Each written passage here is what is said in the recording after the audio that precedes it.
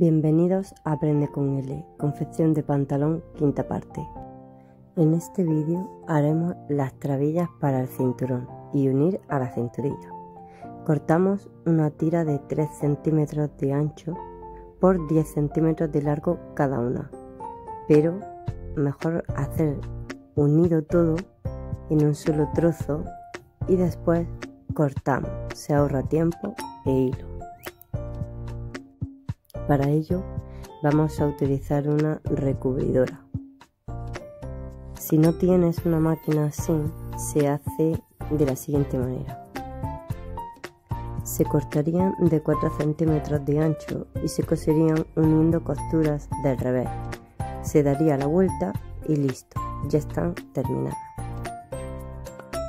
Como podéis ver en la grabación, se unen doblando por la mitad y la mitad y se ponen hacia abajo. Podemos utilizar alfileres para unirla para que sea más fácil. Unir las trabillas en los cinco puntos del pantalón. Podemos copiarlo de alguno o simplemente ponerlos como queramos. Yo en este caso he dejado, esas medidas en la parte de adelante junto a los bolsillos. Damos una pequeña puntada hacia adelante y hacia atrás, hacia adelante y hacia atrás varias veces para que quede bien sujeto. Las otras tres trabillas van situadas a los dos laterales y justamente en el centro del trasero. Cogemos la cinturilla y la doblamos por la mitad. Podemos plancharla para marcar como un truco para ayudarnos. Marcamos con un piquete donde irá el cacho del ojal.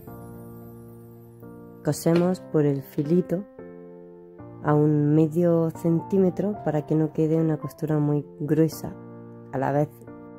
Repetimos también en el otro lado de la misma manera. Giramos el trabajo y colocamos en el pantalón por dentro. Cosemos a un centímetro de costura por el lado que es más largo en el que no nos hemos metido el centímetro de costura. Podemos ajustarlo con alfileres y comprobar que todo queda en su sitio.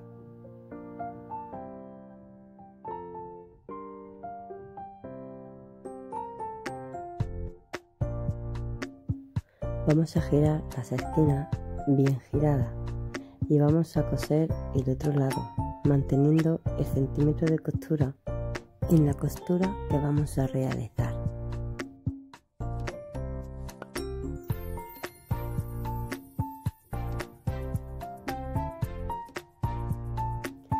Cogemos con alfileres y comprobamos que todo está en su sitio y además es más fácil de coser sin que se desvíe.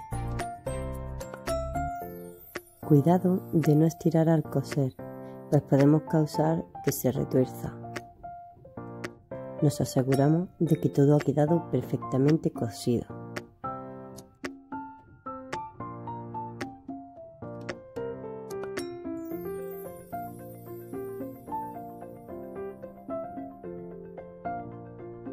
Os aconsejo ir despacio, con mucha precaución y siempre sujetando la tela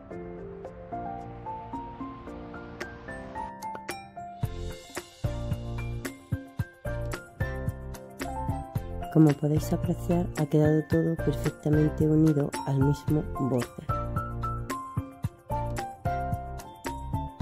Una vez llegado a este punto, ya solo nos queda armar todas las presillas.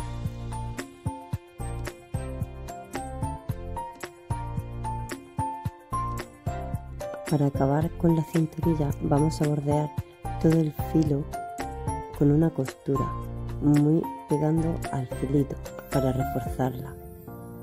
Terminar le pasamos un pespunte a las trabillas. Pasamos al falso. Cosemos el falso haciendo un doble dobladillo de un centímetro y volvemos a doblar un centímetro. Y después hacemos una costura simple. Ya solo queda hacer el ojal y hemos terminado el pantalón.